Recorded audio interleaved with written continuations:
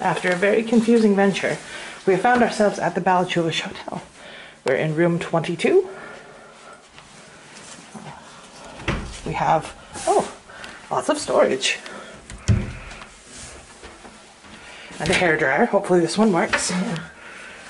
And an iron. smells very new. Oh, loud doors. We have a king bed. We have two tonic waters and gin. We have two chairs. We have just a giant water bottle. That's lovely nice coffee tea situation with Scottish shortbread. But this, come on, does that not move? I don't care. This is why we booked it. With a loch view. Does it open? Did I just break the window? Oh, you have to push it. Pop it. Twist it. Okay. Oh, that's how the window opens. Outwards. Oh. Well, that's nice. Oh, we're right by these pretty purple flowers we walked by.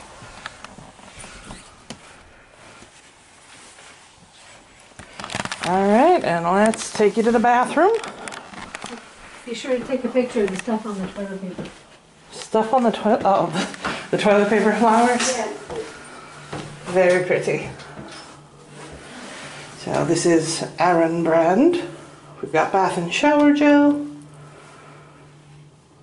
shampoo, tiny soap, and a really high step in on this shower.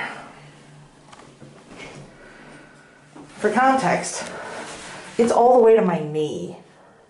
It's okay. All right, standard shaver plug. So, all right, here we are. Ballachulish Hotel. All right, walking down the hallway of the Ballachulish Hotel.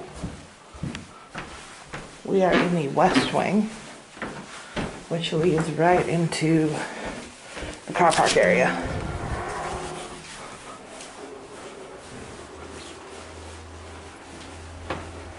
We got the best parking spot that we possibly could, so that's nice. Um, it's a little bit misty, but I don't mind. So it's a little confusing when you come in because it says hotel reception to go this way. But if you go this way, they're redoing the concrete and haven't put up a hey, you should go somewhere else sign.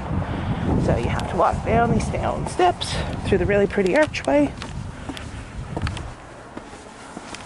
And you get to where I pulled in first. I assume this is the overflow parking lot. So I'm going to level with you right now. They make this appear a lot bigger and more castle like online. Had I known how small this was, I probably wouldn't have booked it. I thought we were staying in a castle. But we also booked everything really late, so we're lucky to get a hotel in the Highlands. And I mean, come on. It's gorgeous. This is me being grumpy.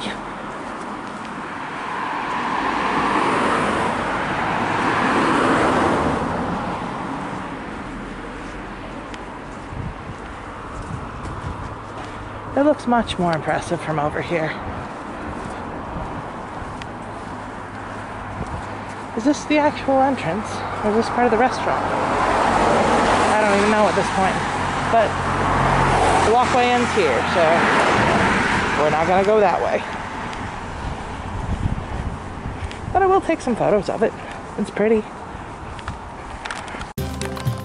So in order to walk through to reception, have to go to the restaurant. Breakfast setup.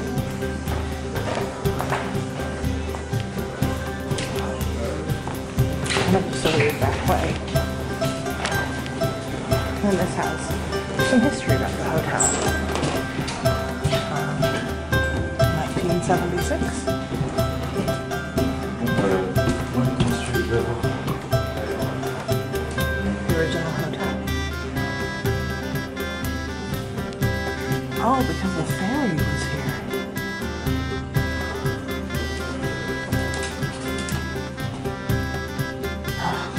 We would not pay that price. I wish we had.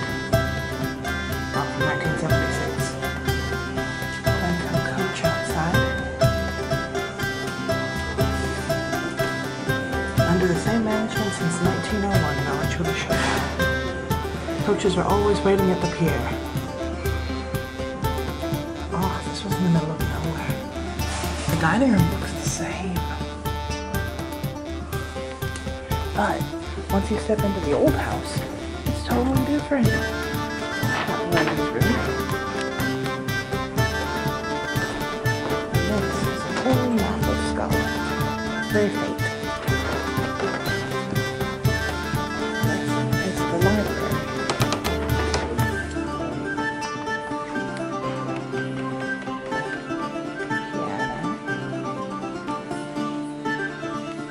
Remove this audio because Wonderwall.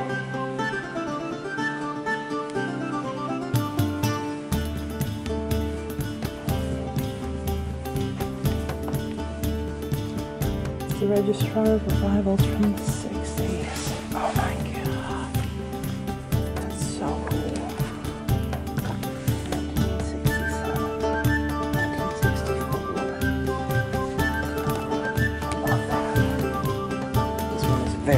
That fireplace is on.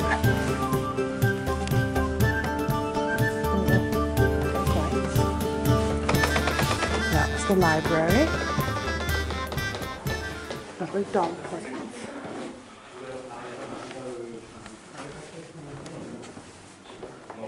So the gentleman's room's through there. This is the lovely sitting room. Oh. This is gorgeous. Lots of games, sitting area. And then you can see the loch and George Washington for some reason. Oh. Now this is relaxing.